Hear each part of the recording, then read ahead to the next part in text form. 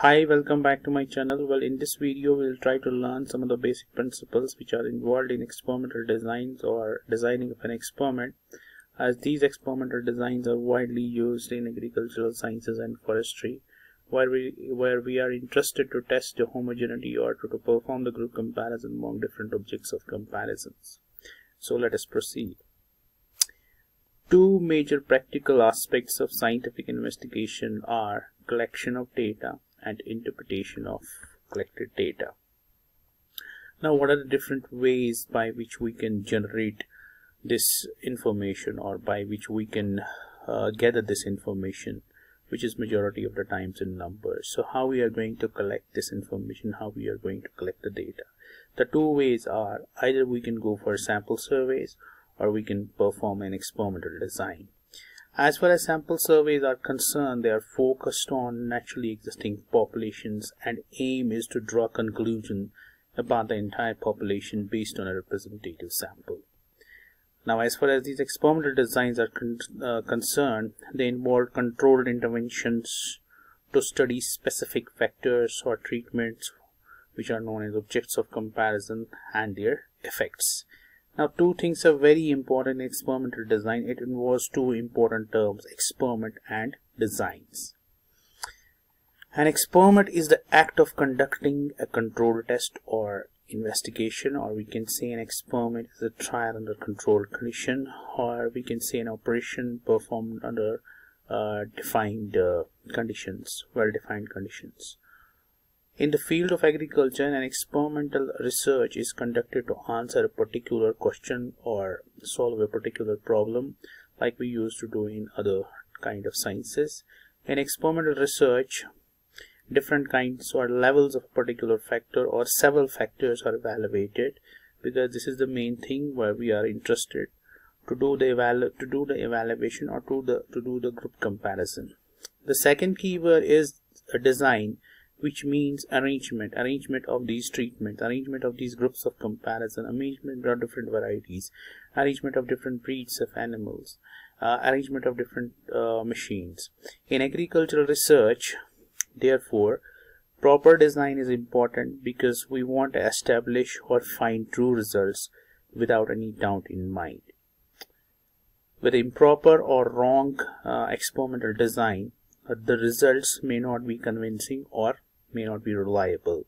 So the aim in conducting research is to find, in context to the agricultural sciences or forestry, is to find if significant difference exists differences exist among the levels or kind of the treatments or objects of com comparisons or different kind of factor combinations which is accomplished by the use of analysis of variance which has already been uh, discussed in my previous videos.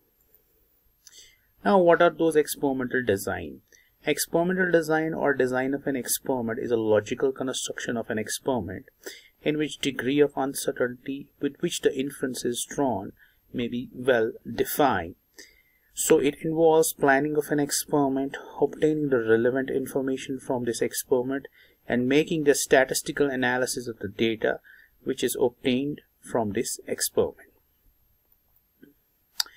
Now the important thing is why do we need experimental designs?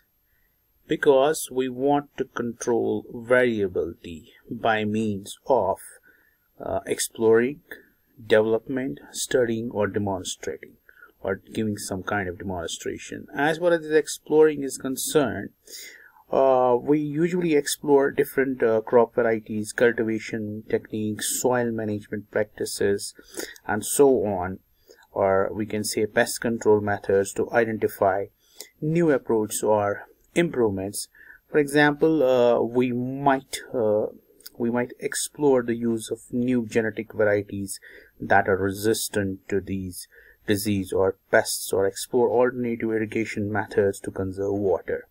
Now, as far as the development is concerned, we usually use to develop new agricultural practices, technologies, or products uh, which are based on the findings from exploratory sustainable uh, experiments.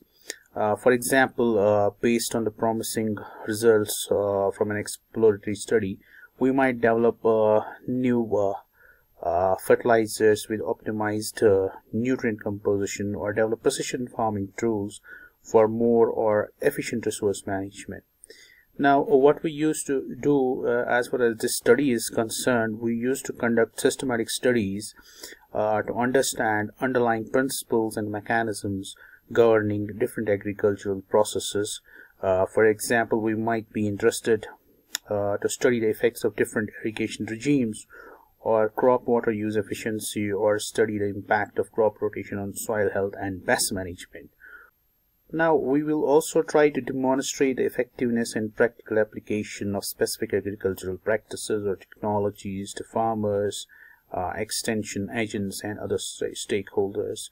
Uh, for instance, uh, we might conduct field demonstration to showcase the yield improvements achieved through the adoption of new crop varieties or we try to demonstrate the effectiveness of uh, integrated pest management strategies in reducing the pesticide use. So overall in experimental design we use to control variability or we can say in experimental designs especially in context agricultural or forestry agriculture or forestry we explore new uh, innovative ideas develop new practices or uh, technologies uh, or we use to study underlying processes and demonstrate practical applications to advance agricultural uh, sustainability, productivity, and resilience.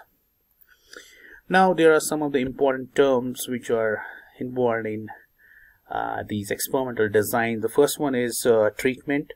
Uh, these are nothing is the objects of comparison in an experiment uh, like we might be interested to evaluate different kind of varieties or different kind of chemicals uh, experimental unit, the object to which the treatments are applied. It may be a piece of land, maybe the animal, or it can be a plant. Experimental uh, error, uh, we can say a plot-plot variation in terms of yield, or the variations which are beyond human control or uh, extraneous factors. Or we can say the variation in response caused by the extraneous factor known as experimental error, variation in yield from plot to plot.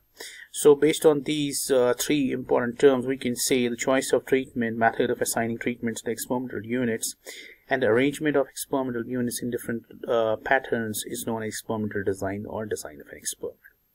Now there are three important uh, basic principles which are involved in designing for an experiment and uh, they play a very important role uh, when we are trying to implement different kind of experimental design or different kind of situation. The first one is replication, which is nothing the repetition of the treatment. The second one is randomization, the random allocation of the treatments and the third one is local control uh, we can say uh, it is usually used to convert a heterogeneous experimental material into homogeneous uh, and the involvement of blocking is very much used in case. This diagram is used as known as Fisher's diagram.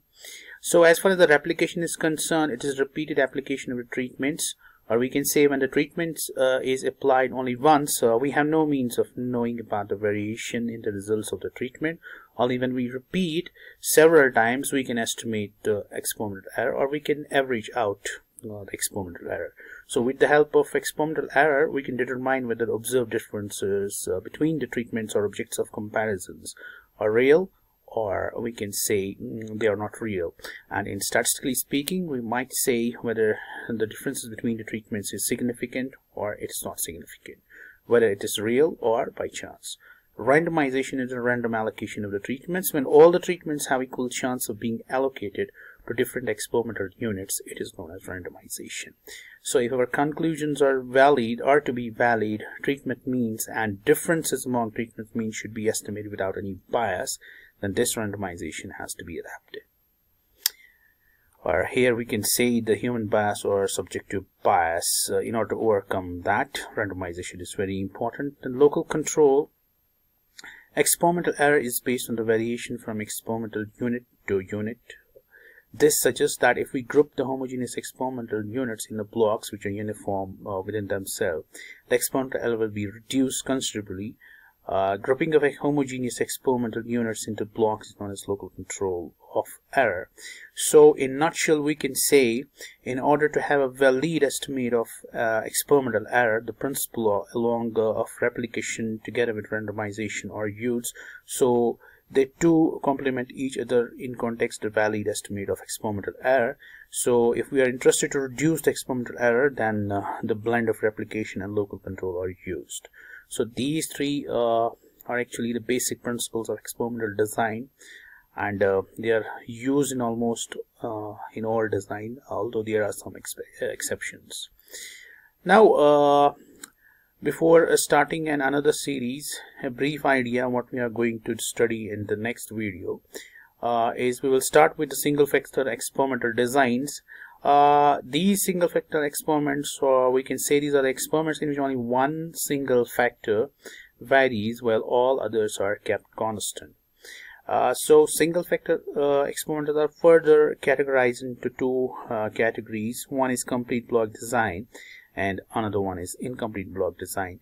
Both these uh, categories are uh, we can say both these categories by blocks uh, although this is meant for small number of treatments when we are interested to evaluate small number of treatments an incomplete block design is usually used to evaluate a large number of treatments.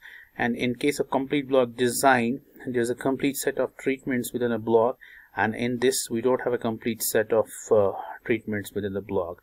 So this is the only difference between these two and these are usually these complete block designs are usually used when we are interested to evaluate a small number of treatments. So when the treatments are very large we used to go for an incomplete block design. So as far as these uh, incomplete complete block designs are concerned uh, uh we have different types of designs uh, like uh, CRD completely randomized design RCBD randomized complete block design and LSD Latin Square design.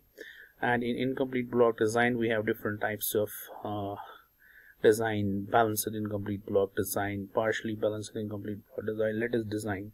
So different types of design. So in the next video we'll start with the basic uh, CRD uh, completely randomized design. Hope uh, you have got an idea about what are the basic principles of experimental design. So in next video we'll start with CRD thank you very much